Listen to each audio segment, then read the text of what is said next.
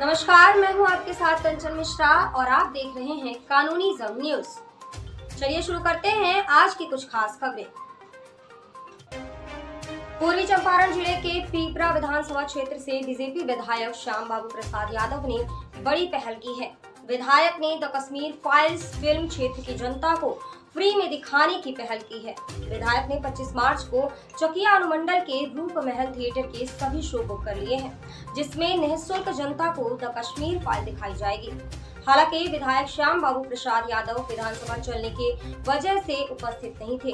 उनका प्रतिनिधित्व कर रहे युवा मोर्चा के जिला उपाध्यक्ष रोहित सिंह भाजपा कार्यकर्ताओं के साथ द कश्मीर फाइल्स मूवी देखी और कार्यकर्ताओं और आम जनता को पिक्चर देखने के लिए निवेदन किया।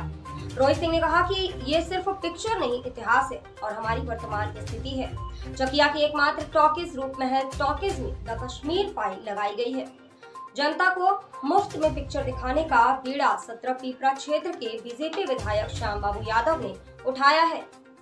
विधायक ने आज 25 मार्च के सभी शो बुक करके जनता को निःशुल्क पिक्चर दिखाने का फैसला लिया। भाजपा के युवा मोर्चा के रोहित सिंह ने विधायक का प्रतिनिधित्व किया। सिनेमा हॉल के बाहर खड़े होकर लोगों से पिक्चर देखने का अनुरोध किया। बीजेपी युवा मोर्चा के जिला अध्यक्ष रोहित सिंह ने बताया कि फ़िल्म के माध्यम से देश की वो सच्चाई दिखाने का काम किया जा रहा है, जो शायद आज तक आम जनमानस तक नहीं पहुँची है। यह सिर्फ़ फ़िल्म नहीं है, इतिहास में जो हुआ, वह है और वर्तमान स्थितियाँ हैं।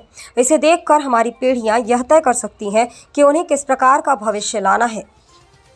कानूनी जंग न्यूज़ के लिए मोतिहारी से अजीत कुमार की रिपोर्ट। उन कश्मीरी पंडितों की कहानी है, जिससे आज तक हम लोग और कोई भी अनजान थे।